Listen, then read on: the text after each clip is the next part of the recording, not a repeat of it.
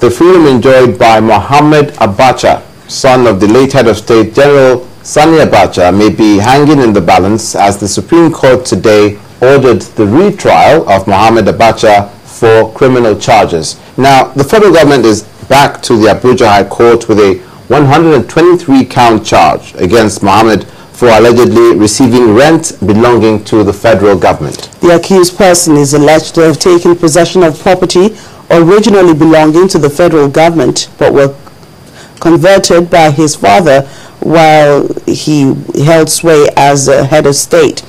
Mohammed Abacha had challenged the federal government, claiming that the immunity enjoyed by his father while in office be extended to him and that having forfeited some of the family's property confiscated by the government, it should be exempt from prosecution in line with the provisions of Decree 53 of 1999. The court therefore held that immunity does not extend beyond the tenure of office, and even if the late head of state were alive, he can be prosecuted for a criminal offense, not to talk of his son, who's an ordinary citizen.